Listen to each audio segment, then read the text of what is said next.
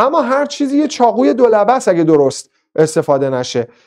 اگر در واقع مناسب استفاده نشه. اتکای بیش از حد به دیگران یه چاقوی دولبه از اشتباهات اسفند ماهه. این که من دیگه چون این کلاس اومدم لازم نیست خودم کار کنم.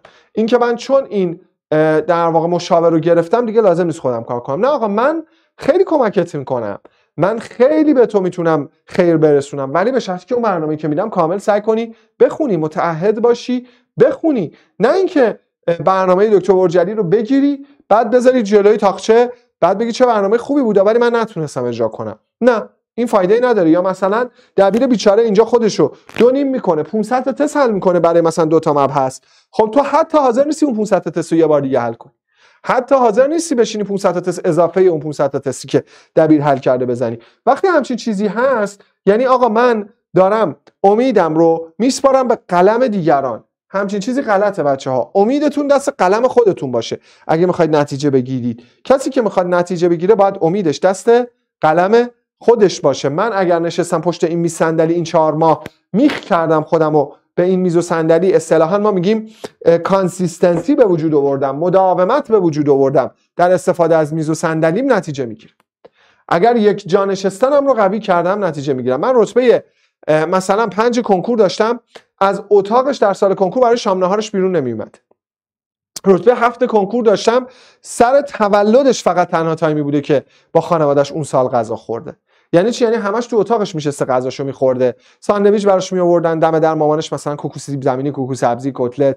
حالا هر چیزی. دم در میذاشته هر موقع آماده می‌شده دو تا در می‌زده. این ممکن بوده همون لحظه برداره ممکن بوده یه ساعت بعد برداره.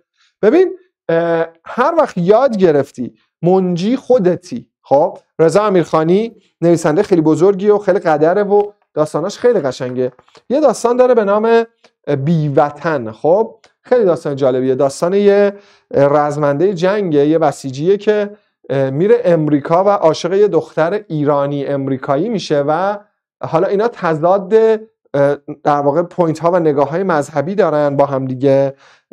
این آدمه خیلی مذهبیه که از ایران رفته بسیجیه و اون دختره خیلی مذهبی نیستش. ولی خب این خیلی اونو دوست داره. یعنی پسر خیلی دختره رو دوست داره. و داره سعی می‌کنه خودش رو شبیه اون بکنه.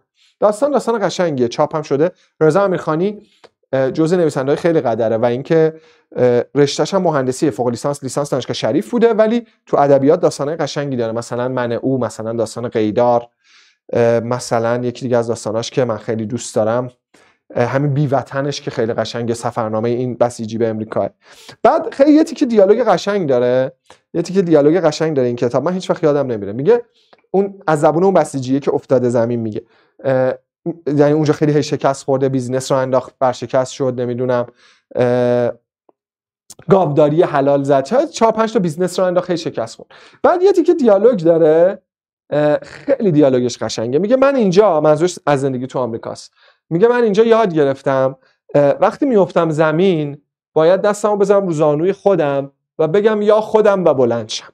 چقدر ما چقدر ما آماده این هستیم که بگیم یا خودم؟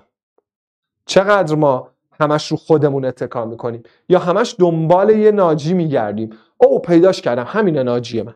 او پیداش کردم. اینه. پیداش کردم. اونه. نه این نیست. ناجی تو میصندلیت.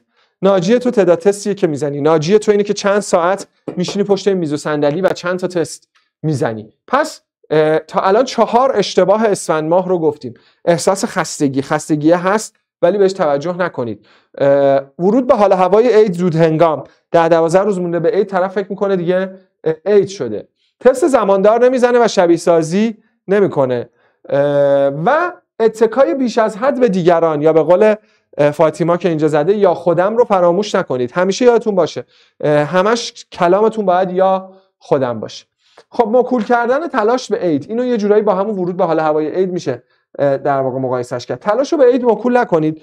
اسفند قشنگ زمان خوبیه برای اینکه برنامه عیدتون رو شروع کنید. البته من فعلا راجع برنامه عید حرف نمی‌زنم. دفعه بعد حرف می‌زنم. یه طرح هیولایی تو کلاسینو داریم. اول این همه ریز و بمش تصویب بشه. بعد من دفعه بعد میام از طرح رونمایی می‌کنم براتون. ولی مکول نکنید تلاش اصلیتون رو به عید. مشکل آخر عدم آماده سازی زیرساخت ها برای شروع جنبندیه. آقا تو اسفند باید زیرساخت ها رو آماده کنید. یعنی چی؟ یعنی اگه فیلم مونده داری اگر کلاس هایی رو نبودی اگر قرار نکته و تستی رو بنویسی یه کلاس دیگه از دست در رفته نمی‌رسی دیگه انقدر فیلم مونده داره. بهتره بری نکته تستش رو بنویسی. پس حواستون باشه بچه ها در واقع زیر ساخت ها رو آماده کنید. چون ما برنامه عیدمون دیگه حد اکثر نهایتا دیر دیر باید 15 تا 20 اسفند شروع شه. من تو جلسه 5 اسفند کامل می‌خوام راجع به عید